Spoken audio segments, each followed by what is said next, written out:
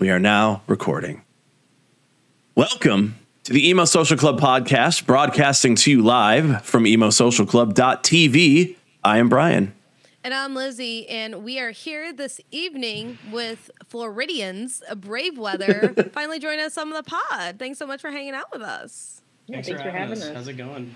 You said Floridian with like just a hint of hint. She's like, "Oh, you guys are maybe psycho. I don't know." Hmm, You said Florida. So, have you had a Florida man uh, news report today? If you haven't, it might be you. I forgot to check mine today. Oh You know, man, it's like our daily horoscope. We don't check uh, co-star. We check Florida man. I feel like that's more telling about how you can predict your life. Honestly, I think so. It works for me. My my Florida man one that I've looked up was like some dude threw a crocodile or an alligator, sorry, through a drive-through window. It's like Oh. that's good. That's Was that recent?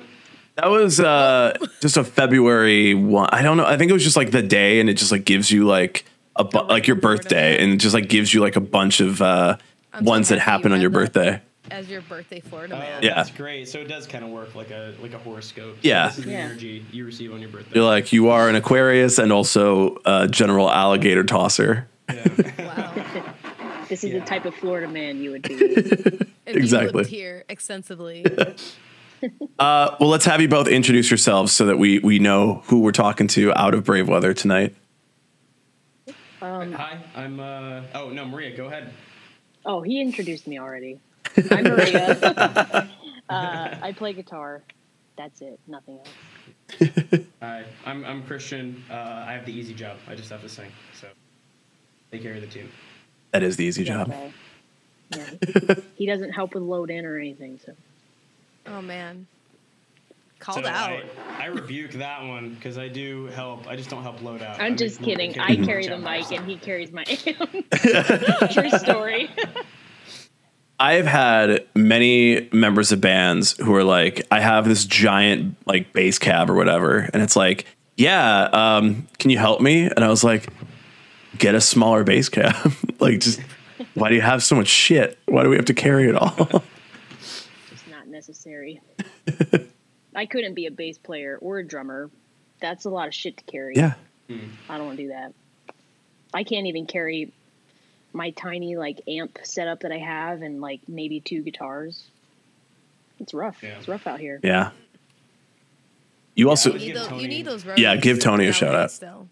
Yeah, Yeah. I would, sorry, sorry, yeah. So Tony Oh, yeah. was he was joining us. He was having technical difficulties, but he says hi.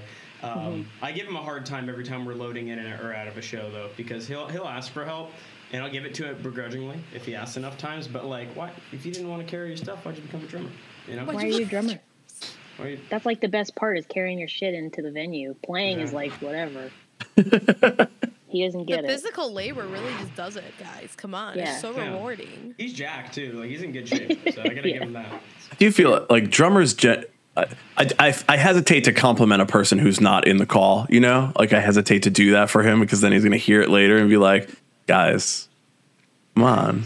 But at the same time, like I think if you're drumming, that's kind of just the the repercussions of drumming. Just is like, yeah, now I just got these like big arms and nothing to do with them. You know? Crazy calves, yeah. Yeah. Can't scratch your back. You know, it's just like shit. Muscles are too big. Yeah. No, he's not there yet. Doesn't have that problem. The Yeah, drums aren't heavy enough. True. If I had a dime for every time Tony made us scratch his back after a show, Cute. pretty gross. He's sweaty. I always hit nose goes on that one. hmm No thanks. With only three of you, though, I'm sure it, the nose goes quite a bit. Yeah. Yeah. So you know who it always is. Yeah, Maria's gotten really quick with the hand. Yep. now. It's like I ready. just have a hand there. It just lives there. Yeah. It just lives in forever. Get a Yeah. It's like a Yeah. forever finger on there. It's a fucking hand tattoo. You're like, no, it's nose goes. It looks like you're picking your nose. Mm-mm, it's nose goes. No. Don't worry about Nose it. Get nose goes. Trust You me. ask me to do it, I'm not doing it. Uh, we should we'll, we'll shout out your your EP that you just released too in October. Uh, we were just talking a little bit before this that this is the this is the thing. It just came out and it's big. So uh, tell us a little bit more about it. What what what should we say about something which is, there's already been so much said before we actually jumped on the on the recording, so I guess that doesn't really count. Yeah, you should start recording as soon as we got in. We were figuring It's out my bad. and stuff. Yeah. Brian's slipping. All good. Yeah. All right, repeat yourself, Christian. Come on. Um, yeah, the EP, uh, we just released that back in October. And what was kind of cool about the release specifically for the EP is we got to release that almost two years to the day from when we released our very first song, which is really special to us because we're sentimental people and we hold on to that stuff. But um, yeah, the last two years between COVID and just like get, being a band and building our friendships and, and writing together, it's been a, a pretty crazy ride for only two years. It feels like it's been a lot longer. I'm sure that's a sentiment that a lot of like bands probably have. That time, the time goes by very quickly, and it simultaneously feels like you've been in the band together forever. But that's how the last two years have been for us releasing music, and then the full year of COVID and everything before that. Um, and the EP is just a really cool sort of culmination of all of our like creative energies and everything that we've put into this band started coming into fruition in one finally like one body of music that's not just single after single after single Yeah. Yeah, we had um how many songs did we add to the EP that we already had out? So we already had like maybe at least two or three songs on that EP that Mhm. were out as singles. And we kind of just like combined them with um, some new stuff. One of them was a song that we actually had like a friend um, she featured on it and uh, her name is San Roman. Uh, so that was a song called Rose Colored. She featured on that. So that was kind of like a bonus track. We just threw that in there. Um, but that song without the feature was already out. Um, and then I think there was probably two other songs already out. Yeah, we had a couple out already. We had Everybody Knows out, we had Sleepless out, and then Yeah. Rose Colored. But Rose Colored, actually, what's funny about that for anybody who knows, I don't know if you guys have heard it. I don't know which music video you guys have seen, but that's the one where we're out in the snow playing Edward Forty Hands in like Colorado, which we as Floridians were not suited for at all. It's another story. but um, but so that song, the one where I'm singing the second verse, was actually not the that was not plan A to release that. So uh, our friend Alexa San Roman, shout out Alexa, uh, she did a feature for us way back, and we were just at the time when we were pushing the songs out, we just like didn't quite have the song with her verse on it at the point where we, where it was ready to release. But we did have a version of it where I did like a just in case verse, and that's the one we initially put out. But the plan originally was to put uh, Alexa out on the first rendition of that song back in man June of 2021 or something like that. Yeah. Yeah. I'd say also with that music video, that was, uh, I don't know if that was like very planned. I think a lot of it kind of just was like, hey, let's do this. And then we kind of just did it. I was in Colorado shooting a music video for another client. And then um, I was like, hey, uh, two of us in the band are already out here. Do you guys want to like fly out here and like film the rest of this music video? And they were like, yeah, why not? And uh, so we ended up like not preparing to be in such cold weather because I lived there for a little bit, and I was like, oh yeah, like I always just walk around with just like maybe a hoodie, some jeans. I'm cool. But we went out into the mountains, and I think it was like negative thirty something Oh my god. and we had walked like a mile up this mountain and it it was snowing like physically snowing. And uh that was probably the worst time of our life. That was Yeah, like so terrible. One thing you definitely don't prepare for as a Floridian is how elevation changes temperature because we don't have either of those things here. yeah it was tough. You have but sun in the winter. That must be nice. It's cool. Yeah, I think we got down to what 45 degrees at our lowest this winter so far, and uh, Yeah. that was pretty Oh, yeah. chilly no, i think it was like 30 on christmas on Christmas. Yeah, that's the had a, you coldest had a Christmas true we've ever Christmas vibe. I know. Yeah, it was almost snowing, kind of. there's a little bit of frost on the windows Now wait here. Did the did the lizards freeze and fall out of their trees? oh yeah This still yeah. freaks me out to my core since I found out about this. That's a, So, yeah, that's a, that's a yeah. Miami thing. So we have these lizards that live right outside of our house, and my wife names all of them. She goes uh, Chillip, Dillip, Phillip, Chinchillip, and one of them fucking froze just on the wall as we were walking into our place, and, and I was like, oh, fucking Philip died. She's like, oh, Philip, and he he just stayed there on the wall like fucking frozen for a week, and I think somebody finally came and got him. Poor guy. Rip. It's Yeah, wild. that happens. Yeah. Rip Fucked up. Philip. He never stood a chance. I know. guy. This might sound kind of cruel, but I'm just happy it wasn't Chinchilla. Yeah. I know. Or Chillip. way. Chillip was my dude. Okay. He's around somewheres. I know it. So have you ever Okay, so you have the favorite lizards, but do you ever try to like get them together and like race to prove who's the superior lizard? I think that is determined by how big they are. I think they like in my mind, they determine that by their size. So like and I think that also determined how they got their names. I think it just kind of like an illip kind of added on every time they got smaller. Okay. Chillip, Chinchillip, Findillip. I don't know. Pickle Dillip. That's probably a new one. That's the next one to replace Philip. I think that'll be a new one. Yeah. Yeah. Instead of Philip number two. Yeah. No, I can't can't give away names that have been. We will uh we'll make new ones. Long live Philip. We have this long list on my phone of like working titles for songs that we don't have titles for yet. Um, Yeah. And I think I have to add Chinchilla Mm-hmm. a working. Chinchilla, Give me yeah, a that's a second. good one. Yeah. Yeah. We'll It could leave just like be that. about the lizards. It could be about absolutely nothing related to them. It could be I- actually about something that like it's like heartbreak or something. And I'd be like, I yeah, love, this is what it's yeah, about. Yeah. I love I love songs like that where like the title is like my lid- lizard doesn't have a last name, but it's about seasonal depression. or Yeah. you Yeah. know, like- Yeah. It's like that meme that's been going around. It's just like, oh, you want to do this? This is another like silly like whole sentence. So basically, a Fall Out Boy or a Hot Mulligan a song mm-hmm. title. Yeah. Right. Chinchilla has made the list. Amazing. Now, Yeah, when anyone some sees it, Very interesting ones. I feel like the working titles are always a lot better than like what actually goes on the record. We actually kept one. It was the first no, was it the first song we put out? The very first one. Yeah, it was called White Claw. And uh you know, you could probably guess what we were doing. Drinking High Life. And- yeah, drinking a Four Loco. yeah. Little And, uh, we just liked the way it looked though i think and we were like i don't want to change it so you know just stuck Yeah. And you bring in like the marketing, you know?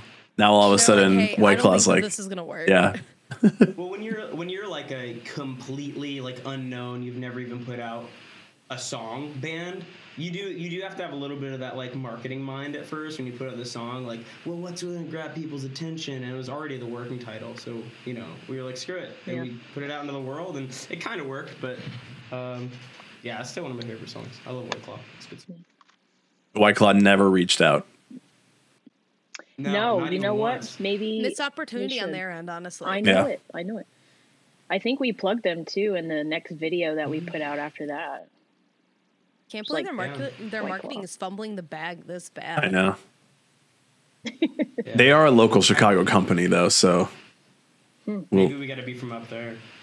yeah I don't think that's. I think they just need to be a little bit more, you know, looking for that I that think that they need to be opportunity. more like influencer minded. Yeah. At least when I DM'd uh, PBR, they responded. But I didn't Oh, there you go. Yeah. people. Yeah.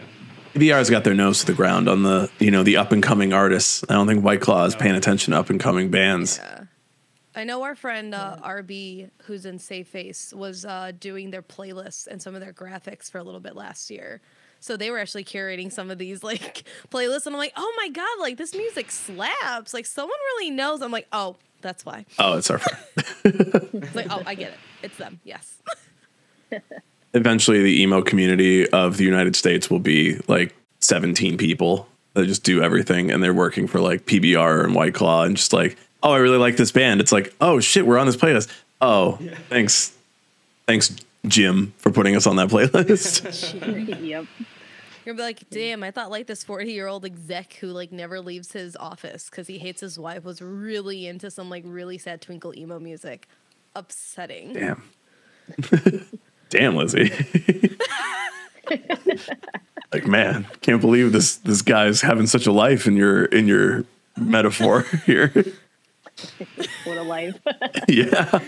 It's just a scenario. If you feel personally attacked, that's on somebody sounds, I gotta- sounds a lot like my life. what I, I are you gotta talking ask- about? First question one for Lizzie. Uh, I feel like we all got the memo on the uniform. I was I was noticing it too. We all Yeah. wore chains. I don't know what it is.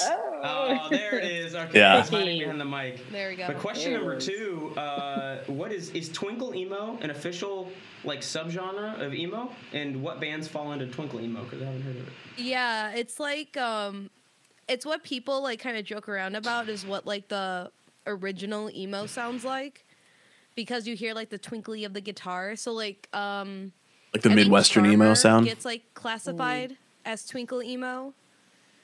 Um also Oso not so much recently, but they kind of were thrown in there. So like kind of the fourth wave of emo when that came out, people were saying like this is twinkle emo. So it's like you hear like exactly like that on the guitar. One more time. One more time. We're writing we're writing down ideas. One more time. Not. Yeah, yeah. Careful. That was that was this close to the AT and T ringtone. Yep. Oh man. Hey. Say it again. Get It's like Yeah, you take Maria's that sample and you use that as your twinkle guitar part actually in your next song. Listen, the band. I fight the band so much on like how often I want to use like dumb voice recording stuff Mm-hmm. in our songs. So Oh I mean, God. watch out. That might be an idea now. Oh man. Yeah. Hey, the Damn. voice recording memo, that's like the key to any like prime and true like indie new wave emo song. So like you could be like Mom Jeans guys. We Yeah. could. We could do it. Um, everything Lizzie have- said. I don't understand. By the way, I have no idea what she just said Yeah. about any of it. Twinkle, nothing, doesn't click. I send him bands and only memos. sometimes they land. Nah, yeah. And like none of the none of the bands you mentioned, I'm like, oh, like I've seen oh Oso Oso, oh and I'm like, okay, moving on. and it just like it's just like I don't know, it just doesn't hit me in the same way. But if you say like Midwestern emo, I'm like, okay, I get like the the jangly guitars and the sort of like weird, like you know, Yeah, Yeah. I can American understand that one. vibes. Yeah, right. Yeah.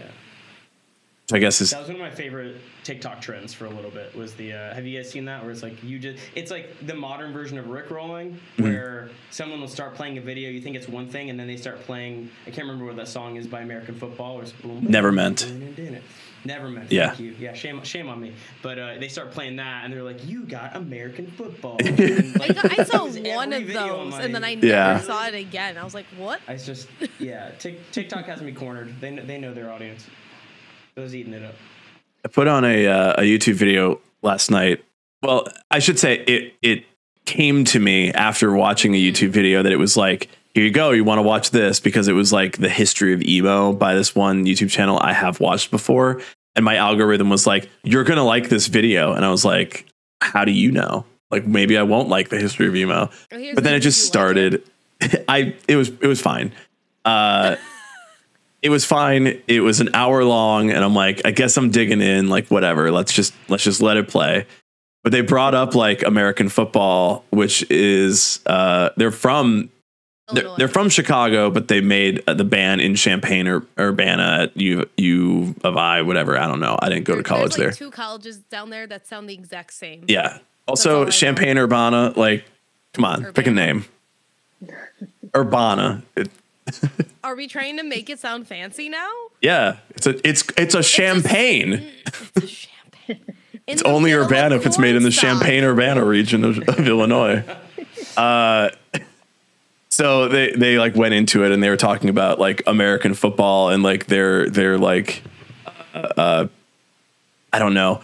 They're, I was about to say Reign of Terror on American emo Wow, music, and then I'm like, that's, not really quite it. Bestie.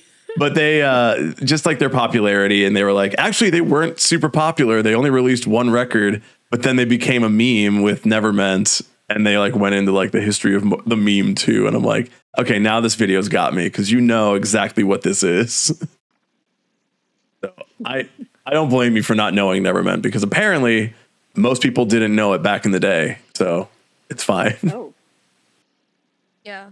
I mean, I will say I didn't know much about American football probably till I got into like middle college either. Cuz I was just like, I don't know what this is. I know punk music. I knew punk music a lot up to that point. yeah. Yeah. Never Meant. Neverment's also like. I dream one day of a braveweather song just becoming an inside joke for all of TikTok. Mhm. You know what I mean? like, because that, that's what it is. Like, Never Meant's a fantastic song on its own. Obviously, everybody loves it. But the fact that it's just become an inside joke in that community and you either get it or you don't is like, I mean, you're never. That's one way to get big, right? Absolutely. One way to go viral. yeah, become the bit. The forever Become the bit. bit. Yeah, because then apparently they got they they re-released uh, the record in like 2014, and it broke the website. so it's like, yeah, that that that's how you do it. Like you Oh. just wait a while, and then eventually it becomes a meme, and then you're like, it's on sale, guys. All right, cool. We finally made we finally sold all the records we never sold in like 1997. You know, whatever. 97. God. a lot of 90s in there. It's like, damn, all these bands started in like the 90s and now you see them playing and you're like, wait, you started in the 90s? Like, I only Yeah. heard of you in like 2006. What the hell was going on? Sometimes it just takes that long for like some people to hear you, anyone to hear you. You just keep going. I mean, like they were from the '90s, but you also have a lot of like ni- like late '90s inspo too in some of your music. If you can like kind of elaborate on that, how you kind of like layer that in. And Brian's giving me the death glare for this transition. Lizzie, okay, for background, Lizzie works in radio. Lizzie listens to transitions from one thing to another all the time. And then she comes in here and she starts bringing these transitions in and i every time i'm like i hear it i'm like i, I hear it coming i hear her doing it and it just it it He it turns it like it fucking sees it in her head. yeah yeah i see the gears turning i'm like i can i can see you know like uh if you've ever had like a like a like a video game controller that was like clear so you could see all the inner workings of it it's like that but it's her brain and i just see all the little like controller bits moving and i see all the little pieces and things are lighting up and i'm like it's coming up with the transition right now and i am upset I literally was lis- I was listening to a New York Times podcast the other day at work, and I'm like maybe a minute. I'm literally a minute in, and this dude does the smoothest fucking transition. And I'm like, oh my god, I love it. And I immediately send it to Brian. I'm like, listen from the beginning to like a minute and two seconds, and he's like, I am upset. Yep. Like it's a little too smooth. yeah like riff ideas take them you know lizzie transition ideas i'm taking them Absolutely. Yeah. I feel like yeah, I just watched that happen in real time, and I sort of realized it was happening. And I was like, "Oh man, Yeah. alright, now we're talking about this." Yeah. The problem is, is that I interrupt it every time, and then we never actually talk about the subject she was trying to transition to. So, Lizzie, re-transition us into, uh, uh, no. yeah, so as we talk about y- bands that were like in the 90s you're inspired by a lot of late 90s and early 2000s bands especially like indie rock obviously punk and emo adjacently as well. So can you kind of talk about how that has been layered into the development of your songs and like you guys as a band overall? Yeah, um, I mean, from from like the beginning of my listening as a kid, I I was raised to love the Killers, and so I like I'm such a huge Killers guy. Um, Hot Fuss ha- is like a top two album for me. My two, Absolutely. my two top albums.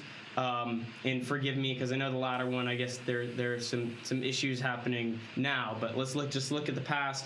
Uh, a fever, I can't sweat out. yes, Panic and Hot Fuss by the Killers are just the uh, they those have my heart, right? Yes. And so that's that's my between that and then a lot of Foo Fighters for like the 2000 for the early or late 90s. Those are that's where a lot of at least the influence that that I that I that I get is, is that's my late 90s early 2000s is a lot of Killers, a lot of Panic at the Disco. Um, I know I know Maria and I share a lot of those influences. So Maria, if you want to. Yeah, I I definitely listened to a lot of the Hot Fuss album. My mom had the CD, like it wasn't me, it was my mom. She had the CD just like in the car, and that was like all we had. So at one point, that's the only thing I listened to. Which I don't know if that's like a huge inspo on my guitar playing, but uh, I listened to a lot of AFI. Um, that was like my Oh, yeah. main band that you know got me into playing guitar and uh, stuff like that. And um, I'm kind of I don't know. I listen to a lot of like female fronted bands because I also like took up singing and stuff.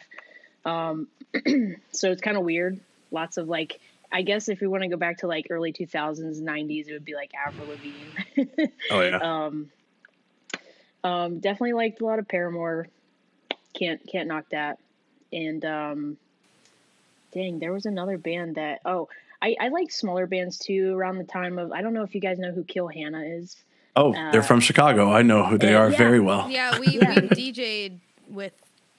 Uh, yeah, their bassist just became like a friend of ours randomly, and Oh, cool. it's just like one of those things where it's just like if you're in Chicago long enough, you'll know somebody from Kill Hannah. So Yeah, Yes. yeah, that's awesome. I actually ran into the guitar player the other day uh, in Mexico, but I never said hi because I was like, ah, it'd be weird. but, I think it's okay. Yeah. It's not like you're. I feel like okay, like this isn't a diss or anything, but this is like reality. That's a diss. It's not like you ran into Harry Styles who was trying to be undercover, and you're like, oh my god, it's Harry Styles. It's like, hey, dude, you're from Kill Hannah.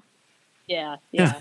no, super. Well, he plays in like Filter now, I Mhm. think. That's true. And So uh, yeah, we were doing the same festival, but yeah, super cool. Um, Kill Hannah was, and then I listened to a lot of like him and stuff. So very diverse um, influences.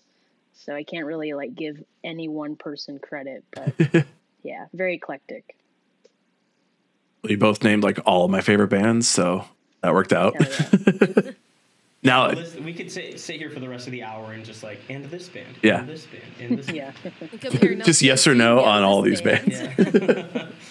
speed challenge. it's more like like I don't know the inspiration side of things, especially when you're in like a newer band now, or if you're like of a certain age, and it's like okay, of course, all these bands that like started emo. But watching this video yesterday, it's like of course all these bands starting bands at that time listen to the bands that came right before. So the video says like, oh, if you know Lifetime or the movie Life or these bands, like then all of a sudden every band listened to them and started their own band, and that's why we have Taking Back Sunday and Dashboard Confessional. This, these are just the the natural transitions. So it's like I do think that it is an interesting thing to say like where your influences are from, even though they might all be similar among many bands.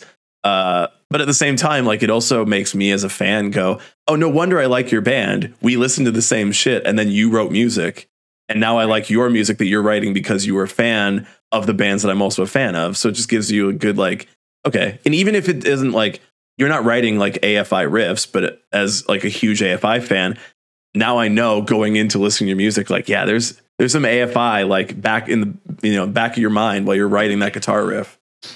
Oh yeah, oh yeah. Maria, Maria and Tony revived my love of AFI. I liked AFI a lot back in the day, but they they were like, "Hey, yeah, AFI, we have to cover this song, we have to do this," and so I started like really diving back into it. And then even like vocally live, you'll hear me go, "Oh," I'll do like a little like a jazz out, like, Oh. "Oh."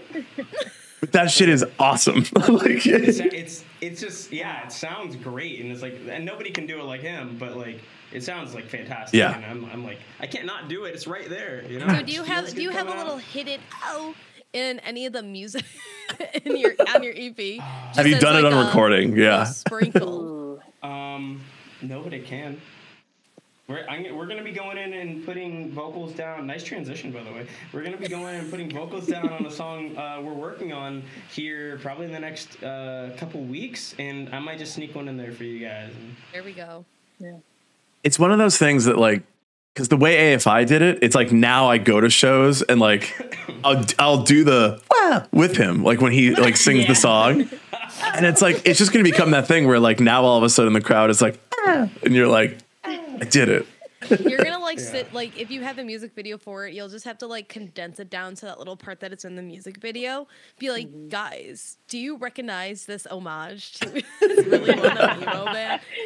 Oh and then they're goodness. gonna then they're, you're gonna have half the people going like, oh, that's cool, and then the other half be like, I can't believe you ripped off AFI. In the meantime, you do not sound too much like AFI that closely either, and you're gonna be like, Mm-mm. Yeah. Nope. Yeah, we. I, I, don't know. We, I, don't know. I don't know if early people would be like, "Yeah, you listen to AFI. I can I can hear that." I mean, I don't I don't think that because I feel like AFI is like a, got on a completely different like spectrum, but I don't know. You guys would would know better than we would. I'm gonna re-listen now. Now that I know this information, right? Because I feel like if you're into AFI, it's a very specific sound that you bring to it. But if I know that you like AFI, and if you're like AFI was the reason I got into guitar, then I'm gonna go listen to it and go, okay, is there AFI in here? And now I'll listen to it with a more discerning, critical ear, and uh, I will report back. So Brian, the music critic. Excellent. I'm a bad critic because I like everything. Like, and I think like as I've gotten older, I'm just like I'm not gonna dislike anything. Like, I don't have to love everything, but I like liking things, and I like the idea of listening to a new band and going like, oh, this is really cool. And then like the more you learn about them, the more you're like, awesome. Let me like listen to it like that now. And I don't know, that's more fun than like Yeah. it took me so long to get there mentally. It really did. There was so long of my life where like my friends and people who were really enthusiasts about music around me couldn't stand me because I was, and I'll admit it up front, I was such an elitist about my mm-hmm. music taste, and I thought I just like I was like I could listen to something like wow this is fantastic for the reasons that I like music, and I'd go listen to something else, country or something, and I'd be like. How can you listen to this? This is so stupid because it doesn't match my criteria for like what makes good music. And then it took a couple of my friends to like hit me in the head enough times to be like, dude, can you just appreciate it for what they're trying to do? Because you don't know what they're trying to do. And now I kind of I try and take that same approach when I listen, and and it has made my listening and music enjoyment experience so much better to just be like, there's a reason I like this, and I'm gonna find it, and and I end up liking so much more stuff because of that. Mm-hmm. Feel good thing of the day. I think what's helpful is like nowadays people are so much more open about like just genre and like re- actually like truly like not giving a shit what they listen to anymore. Because it was the same thing when I was younger. I'd be like, oh no, like I'm an elitist, blah blah blah. And I had to hide that I am like an undying stand for the Jonas Brothers. And because people would be like, You're not really emo then. And I'm like, What are you talking about? Please listen to their self titled album. This is literally a pop punk album. And I will fight Yeah. anyone tooth and nail for it. It's true. I did There's dabble in the Jo Bros. Mm-hmm. For sure. like It's good stuff. Yeah. it's fun.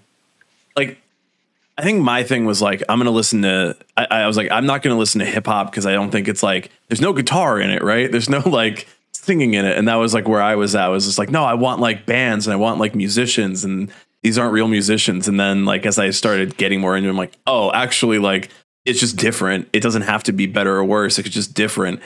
And then I was like, oh shit, this is why everybody plays it at parties because it's really fun and you can dance to it and everybody's having a good time. And I really don't want to be the guy like, hold on, party. Have we thought about having a better time? And then you put on like fucking Avenged Sevenfold and everyone's like, yeah, you're not in the party anymore, man. We're not inviting you to the next one. You're going home, dude. you put on Avenged Sevenfold and it's either Beast and the Harlot or Dear God. And then you really just kill the mood either way. just- it just yeah. Yeah. how. like, but listen to the way they can play guitar. It's like, we don't care. We were having a good time. Yeah. Like, we're not here for that. yeah and it, it's like okay i could just enjoy it and just go along with like it doesn't it doesn't take anything out of you to just be like into fun things that people are having fun doing it takes nothing out of you Yeah. I used to I used to like be like, "Oh, pop music, uh, you know, everybody likes it. I don't want to listen to it." And then I was like, "Oh yeah, pop music is so easy like I don't want to play that. Anybody I don't do it. Yeah, anybody can do it, but if you actually sit down and try to make a pop song, it's really fucking hard.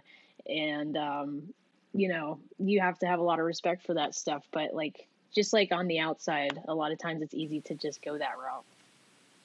Yeah. Yeah, over time.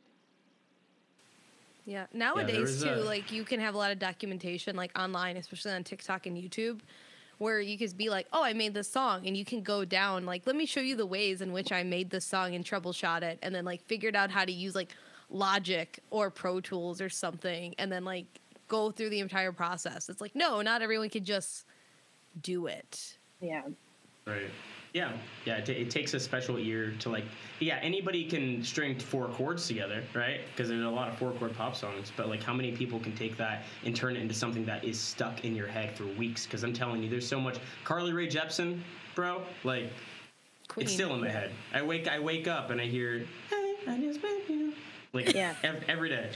Your melodies just got to click, and sometimes that's just really hard to come up with. I know that just doesn't come to people sometimes. I mean, maybe it does, but I'm sure it's rare.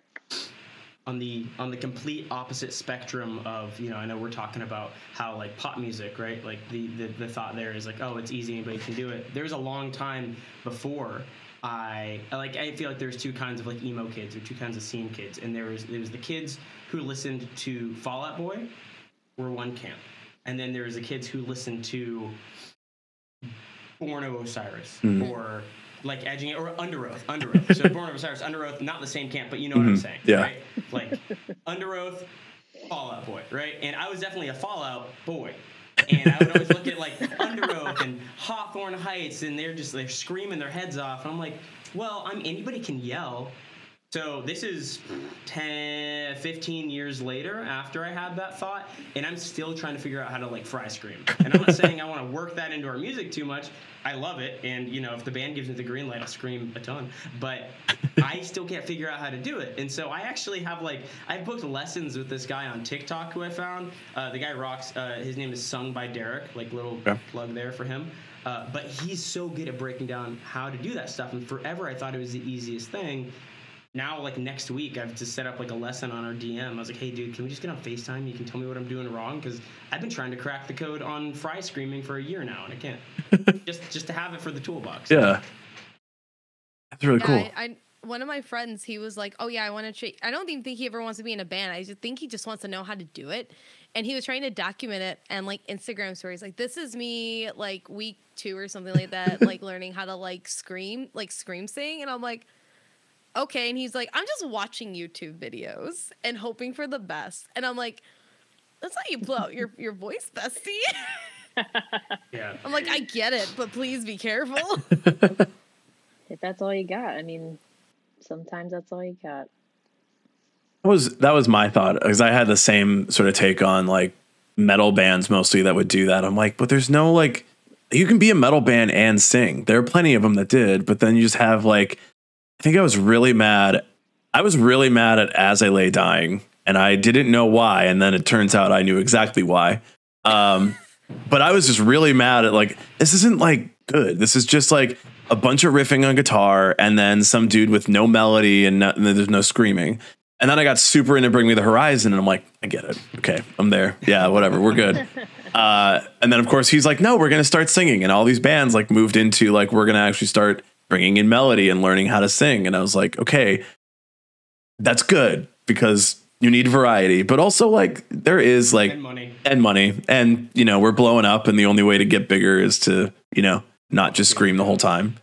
Uh but yeah i was just like it, it takes no talent to learn how to scream. Now everybody's screaming and singing and i'm like okay it takes talent to do that so you're all good in my book. And as i lay dying you know i was right. So you know stand by that one. There was always something mm-hmm. off, and then it finally happened, and you're like, fuck. I talk that one up you know? Kid me definitely knew It was that gut feeling, that in, that little little intention there.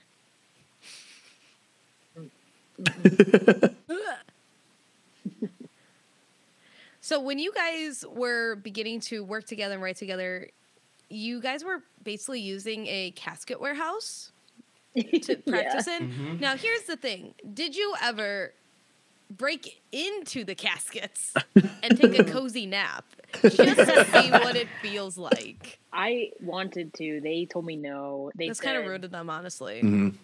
is They like the said that's first thing they told fucked us Yeah, they said we know what you guys are here for. Don't even try. And we're like,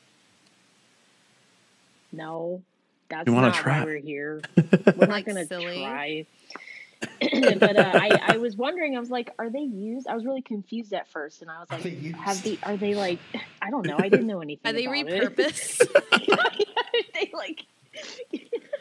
Eco-friendly. oh my Can you, god. like- so I was like, um, it's kind of weird, like, because I was like, oh, maybe it's like haunted, and then, and then Christian's like, dude, they're, they don't fucking do that, and I was like, okay, good, just, just making sure. You never know. I don't know. I mean, listen, if uh, Costco sells caskets, I mean, I really wouldn't also put it like aside for some people to be like, well, we cremated them. What are we gonna do Yeah. with this like five Gotta return thousand it. casket? Like sell it on like fucking Craigslist or something? Like, Yeah, what do you do with it? I mean, there's Or, like- also a fun fact, not that great of a fun fact, disturbing fact, but there are some cemeteries that when you sign a contract to buy a plot, there's a time restriction on it. So you're not buried there forever.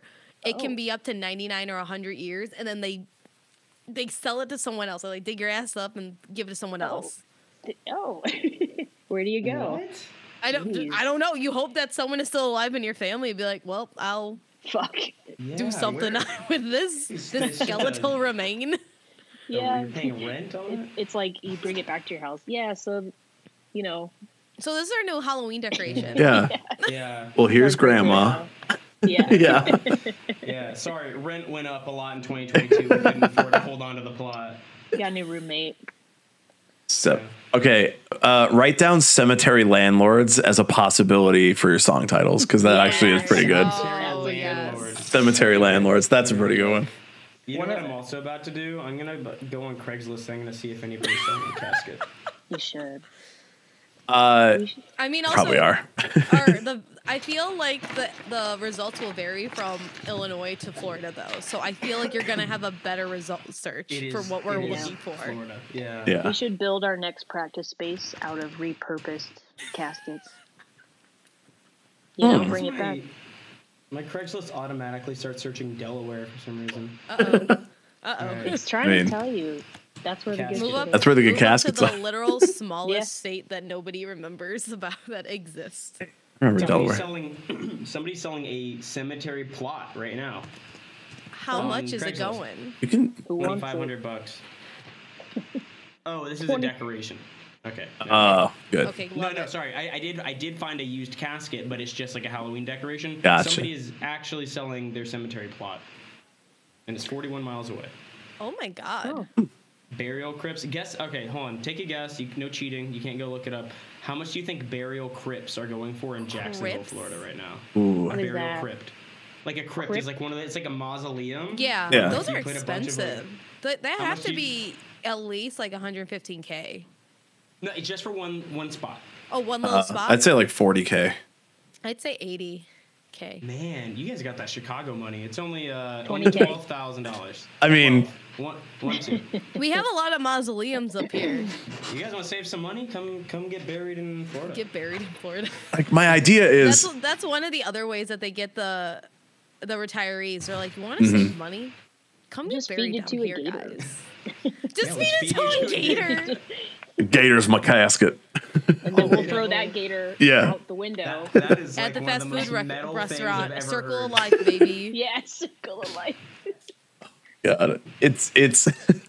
I imagine it's because it's the same thing that like happens in New Orleans, is- and I don't. don't- It, it's like you ever start saying a sentence and you're like, "Why do you know this, man?" Like maybe maybe don't have this conversation with people on the internet. But then I'm like, I'm gonna do it. Uh, in New Orleans, because it's you know a swamp and it's Louisiana and it's like right on the coast. They have to bury you above ground because otherwise you float up out of the ground and you float down the streets of the bayou or whatever they have there. Been in New Orleans twice. I can't stand it. And I'm like, have you ever thought about not letting your dead flow down the streets? I think it might be a cool way to live your lives.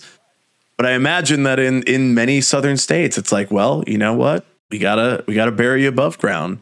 So I would assume that there's maybe a supply and demand issue where it's like you can only bury them in these mausoleums, in these in these spaces. You can only bury them there. You gotta raise those rents, you know? Cemetery landlord.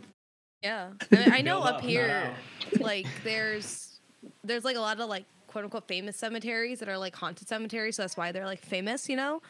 And I've like walked around scared myself, of course. Um, and then I see like the mausoleum. I'm like, wow, that's crazy. And then like there's actually there's one that's like on the outskirts of the city in one of the suburbs, and across the way there's like where the church people get buried, like the church like higher ups get buried. And it's like, oh yeah, they just have like, you know, some of the skeletal remains just like out and like in this big mausoleum for like all like the priests and the nuns and shit. I'm like, what the fuck? Oh, I'm like in in Chicagoland? oh man. Hello? That sounds like um, what are they called? The like underneath Paris. Oh, oh the cat- catacombs. The They're catacombs. The catacombs. Yeah. That's like when you go down there. Those are real bones. Yeah. down. Like that's that. That's a whole person who had a name. His name was Chinchilla. Yeah. Chinchilla. Chinchilla came back. It's Philip actually. Philip's Yeah, back. Philip. Yeah. I want to. He was he was It's in France. reincarnated Yeah. as Philip the Lizard. So I don't know what he did in his previous life to really fuck it up, but that's what That's pretty fucked up. Yeah. Yeah, might not want to know. Have you guys ever seen a As Above, So Below, the movie? I've heard of it, but I haven't seen it. So Yeah, no. It's, it's about. Are you guys into horror movies at all? or, Yeah. suspense. So it's like a PO. It's like a POV film, like like handheld camcorder, and it's about these people who go down into the crypts in in Paris. And as you can imagine, like it's a scary movie. It's one of my favorite movies. It's fantastic. I love that movie. But yeah. Anyway, that was that's my transition away from. Uh, Away from the crypts. I didn't know what I was transitioning to. I'm practicing. I, I have the before. I have the transition. I did. I wasn't transitioning in. You, in you, Right. you must grade the transition. Grade the transition. You know what? I give it like a C minus for effort and for thinking Okay. it really through. You can get there Yeah. though. I've gotten That's a a lot of C minuses, so Yeah. You're for the on your way. It's okay. I also teach uh, college courses, and I had to fail a student last year, and they did Oh. not graduate. Um, She's literally the transition teacher. Yeah. She's teaching Stops the transition. America's youth how to transition. Today's lesson was just the first half, and you got to come back next week when we te- we talk about the second half. the second half. so somebody drops out, all of a sudden, you know, like man, I I would- got a C. I got a C in first semester. Looks like I'm showing up for class next Yeah, see, you're Yeah. passing. I mean, listen, See? you get a D minus, you're still passing. So, Oh, Is that what we're doing now? Wow. D- D's Oh, fuck get yeah. degrees? Oh yeah. I mean, these I get um, degrees, bro. in my undergrad. I got like wow. I got like two D's. One in rhetorical criticism because we had to write a 20 plus page paper every two weeks um, on a 10 week some trimester. I did not sleep that a lot during that that term, and then um, of course uh, math. But you know what? That's I fair. did it. You took a class called rhetorical criticism.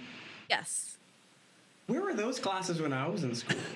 Oh man, I, I mean we I had a take huge. Calc three. Like Mm. Oh no, no, we had a whole like speech program because I was on the debate team too. So my instructor was my debate coach. So whenever we had to like go away for the weekend, I'd be like, "I'm so sorry, I turned it in late." He wouldn't mark me off because I was literally with him in a room arguing to like a group of people about like, yeah, I don't know, like um. What was the one? It was like I know we had, we did a lot around that time about like Iraq and shit like that too. And I'm like, yeah, you saw me yelling, so please exempt me and do not take points off. And he never did. But only one kid in that class actually got like a B. Everyone else got D's or failed. Yeah. Damn. I took easy classes and I got Right D's. To analyze. these get degrees. Get degrees. These are Yeah. these get degrees.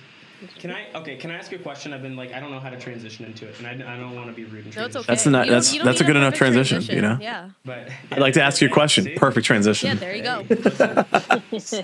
and that's how you get a C plus. That's it. I um, so I want to know. I want to ask. Can we do a little round robin? Um, because I'm curious. People who in, you guys interview a lot of bands. You guys talk about music. You have to be sort of up to date on this stuff.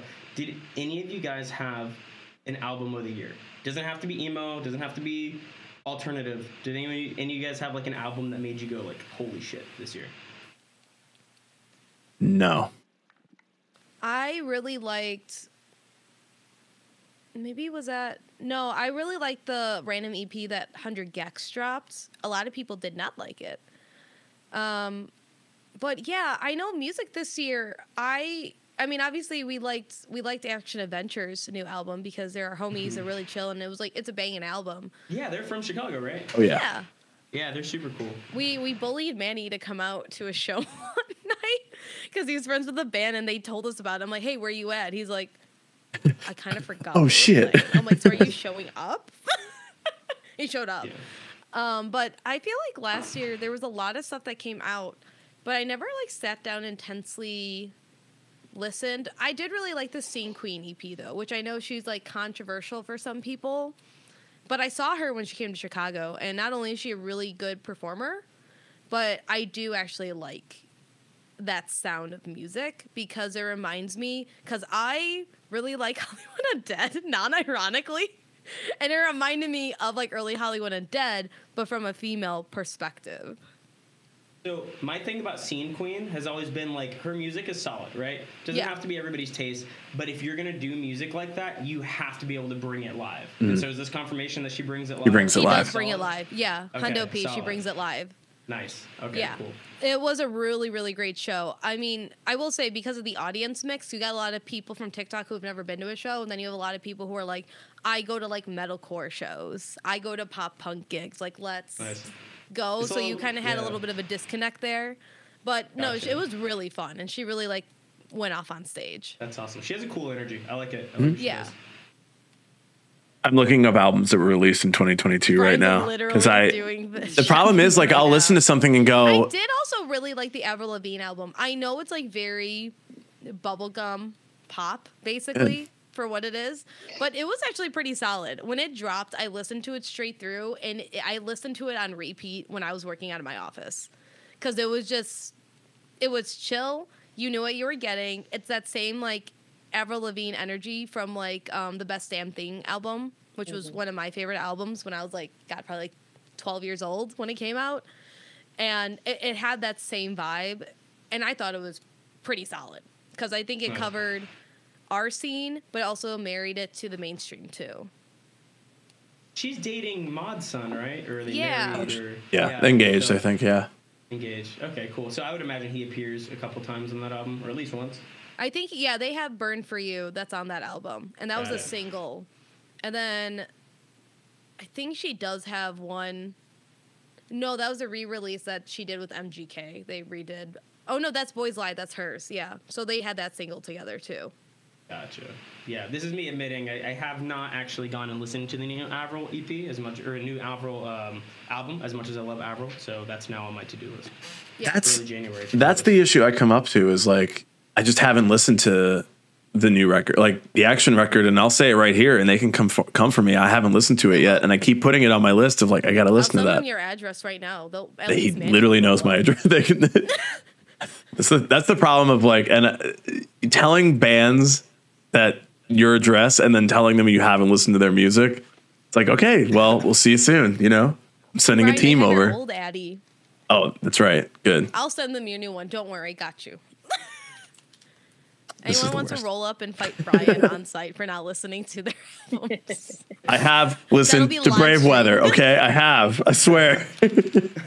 Please leave me and all of my belongings out of this. Leave his little Gerard Way children alone. my tires.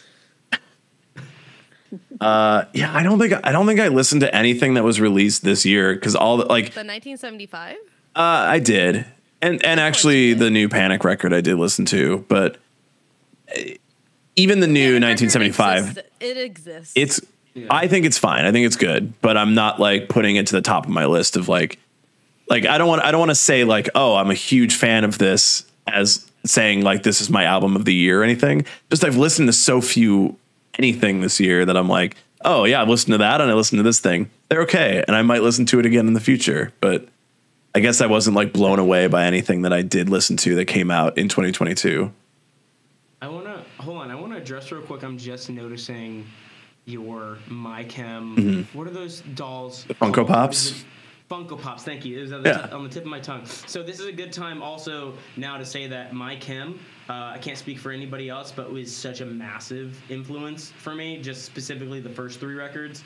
Um, their later stuff's good too. I'm not bashing it, love it. But like those first three records were so formative for me in my youth that like yeah, no, that's that's a, that's a that's another big influence. While we're you know no longer talking about influences, I'm sneaking in there.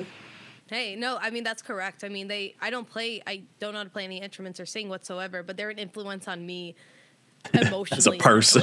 as a Yeah. person. Yeah. That band influenced me to become the person I am.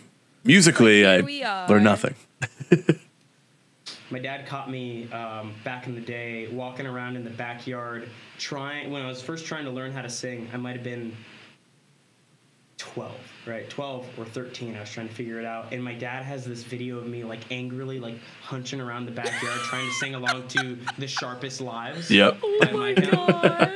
And he should like this one like when you're little your parents they love to embarrass you to you. And so when i come back in he's just like standing there in the doorway and he's got the cool pics camera that he recorded me on. You just hear me going like and he's like i thought you were trying to learn how to sing. What is this? Oh my like, god.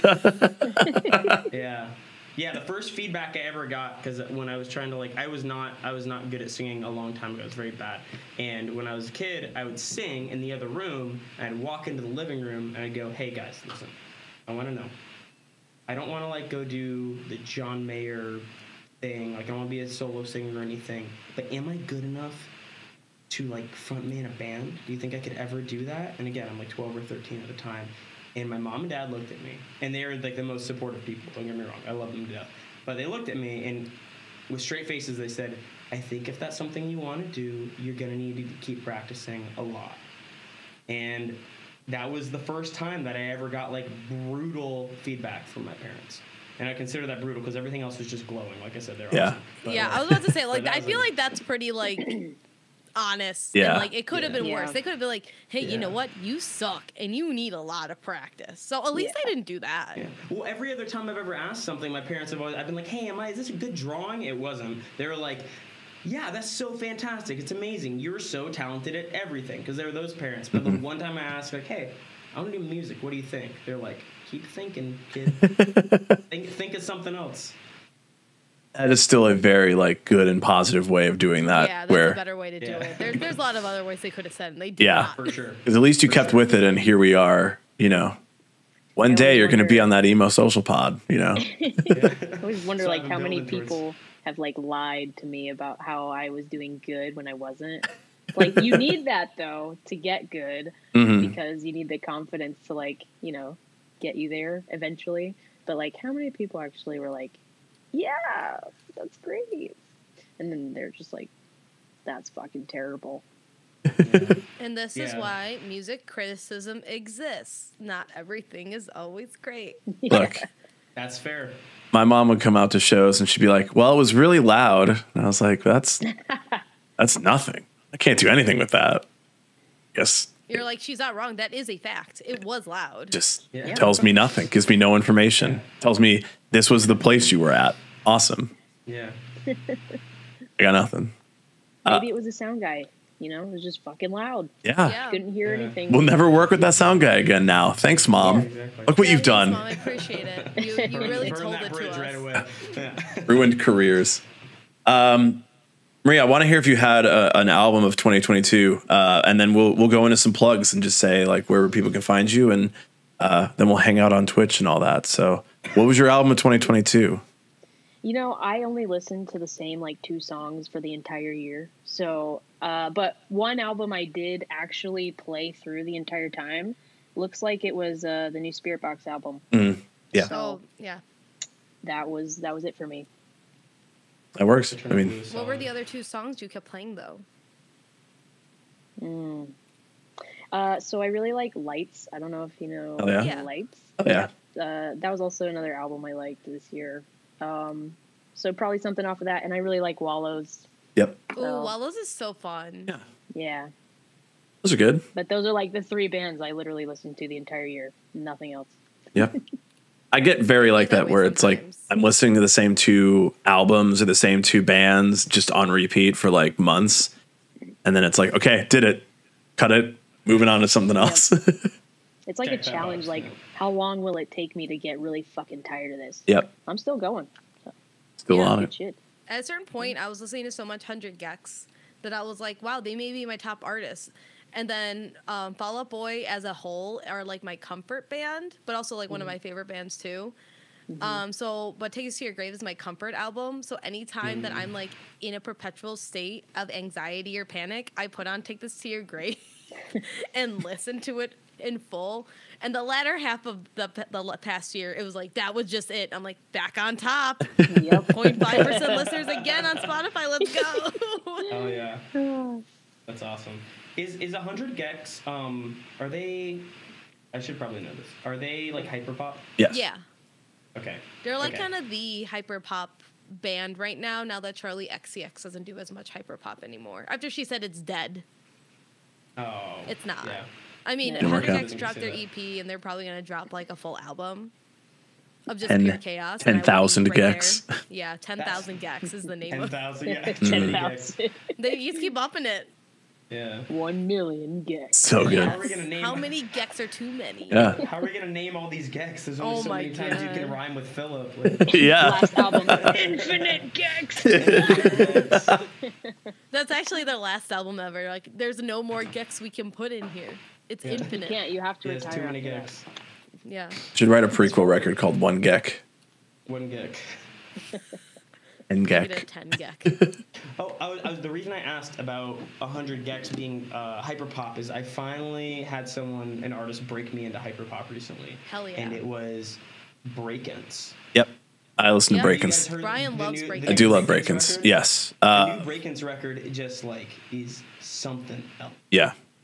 He is becoming like artists, like artists' favorite artist. Like it's becoming like I'm really into music. It's like, oh shit, this is like really inspiring and really good. Um, I saw him live like before it was even released, and I was like, wow, these songs are really good and interesting. And this kid is like 15. He's not, but he's Yeah. a child. Yeah, he's like 21. He's, Yeah. yeah, he's like a little kid. Yeah. And you listen to that, whether you're a musician or like as a musician, you listen to that and you're like, the production decisions that are made there, you're like, you get angry. Yeah. You get angry because you're like, I could have never thought. I thought I was decent, and I could have never thought of that.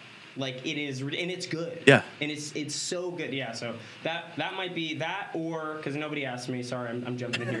that Hypochondriac by brakence, Mm-hmm. or there's another band that's like if you put Chevelle and My Chemical Romance and Underoath in a blender, they're called Static Dress out of the UK. yes. Yeah, we've heard Static And Dress. Yeah. They Yes. released, yeah, Rouge Carpet Disaster is such a fantastic record. So those are my I two. really had to throw those want the ultimate UK tour to be Static Dress, Holding Absence, and Creeper. And I want I want it here though. I want it here. Yeah.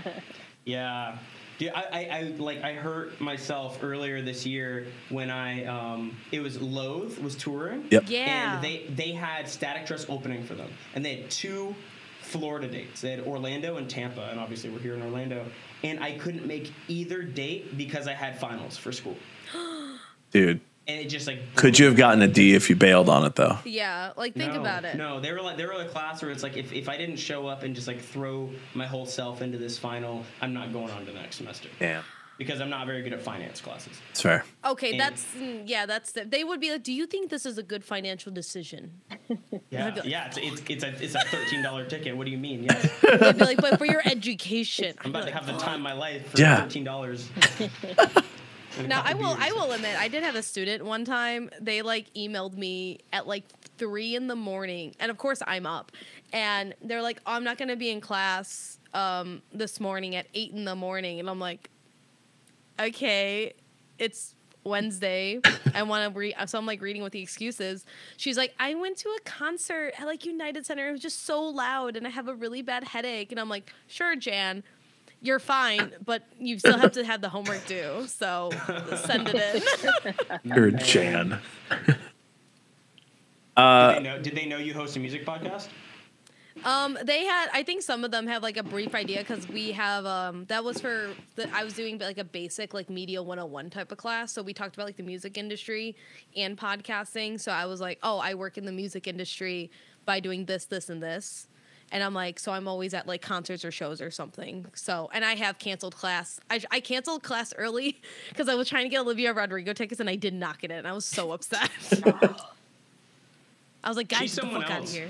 She's someone else from the pop world where like when you listen to her writing, you're just like, this is there's so much here. It's Mm-hmm. so good. Like, she's fantastic. Uh, well, speaking of fantastic, where can people find your band on the internet? I did it. I got one in. I got one in. Hey. That's like a B minus. I'll take it.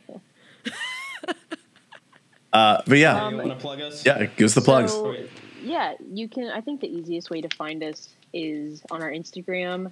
Uh, it's it's at braveweather, right? Yep. No FL. Okay, so it's just at braveweather, and then um, in our bio there's like a Linktree, and you can click on that, and it just has like everything that we've done so far, and where you can buy merch and all that stuff.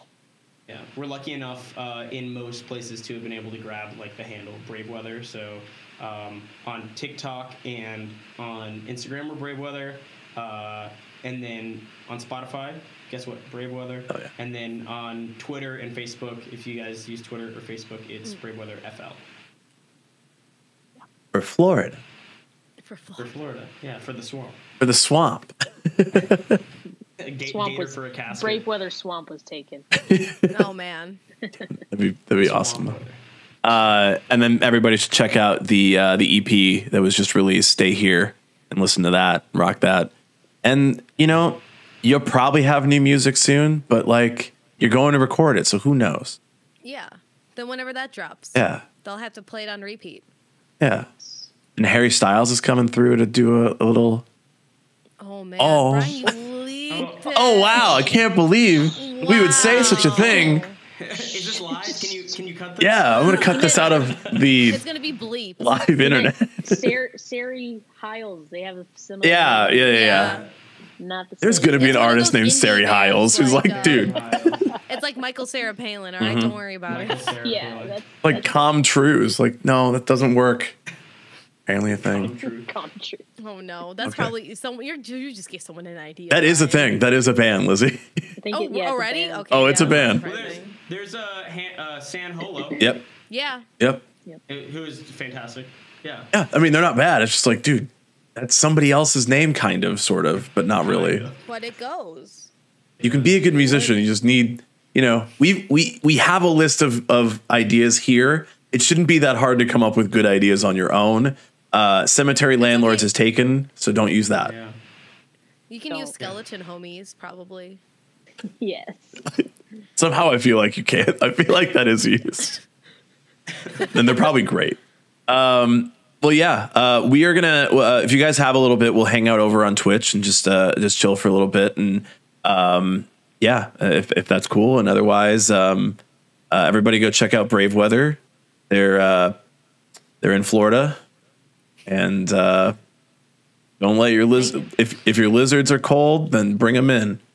Yeah. Don't leave them out Lizards in the Do not leave them degree out. weather in Florida.